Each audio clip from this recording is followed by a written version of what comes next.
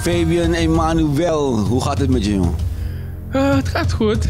Uh, wat is die uh, van tevoren? Nou, um, het is de betekenis.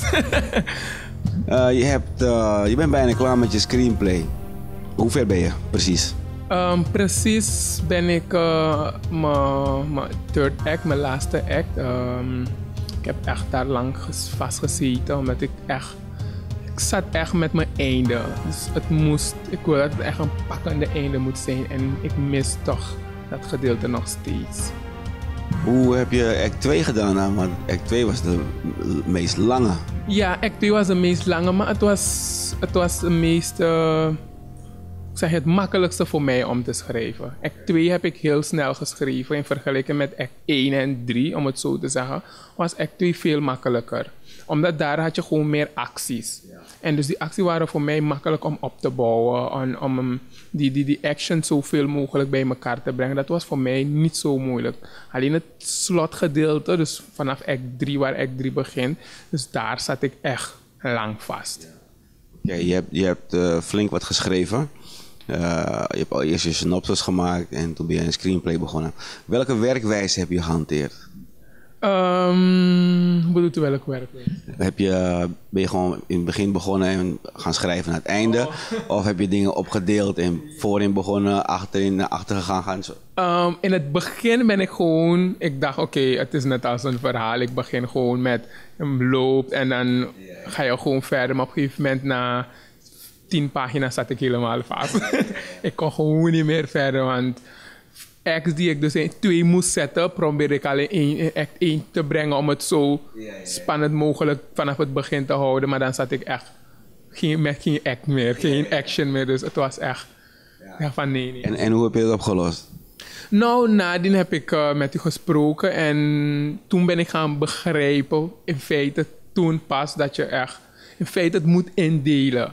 In alle acts heb je weer hun eigen 3x, een 3x part weer. En daarvan moet je dus je weer insistent incident. En je, dus toen heb ik het gaan indelen. En toen zei ik van, hé, hey, ik kan gewoon van achteraf naar voren of ben, in het midden starten. En dan, want dan weet je al van, hé, hey, daar moet je naartoe gaan. Dan kan je dat gedeelte alleen schrijven. Dus toen ging het veel vlotter. Nou, um, ik, ik denk dat het wel goed gaat komen met jou. Dat met het laatste stuk. Uh, als, je straks, als je kijkt naar je competitie. Welke films maken kans om verfilmd te worden volgens jou? Het is een hele mooie vraag. Um, ik, binnen die vier heb ik wel mijn, zeg maar, mijn favoriet om het zo te zeggen. Of course, je wil van jou, wil je dat de jou door moet gaan. Maar er is tenminste één waar ik denk van nee, deze, deze, deze is echt een, een toffe. En welke is dat? Dat is van Santos. Van Santos. Waarom, waarom niet van Santos? Um, van Santos, ik heb zijn synops gelezen en um, het is echt iets authentiek. Het is, je ziet dat er echt reality erin is en het is iets historisch. En ik denk dat we in Suriname tenminste heb ik nog nooit zo'n iets meegemaakt. Dus een film waar je zegt van hey, het gaat echt in de history. Ik heb historische films gezien, maar het is echt van Amerika, maar echt een Suriname historische documentaire of film heb ik nooit. Dus ik denk dat hij. Hij maakt de kansen, ja. Ik wens je ontzettend veel succes met het laatste stuk. En dan moet je natuurlijk ook nog gaan herschrijven. Hè? Ja, dus dat zeker, dat zeker. Want um, kijk, er zijn vier, twee moeten erdoor. Je denkt van oké, er is één die mogelijk alleen zit. Dan denk je van hé nee, ik moet alles eraan doen dat ik de tweede word.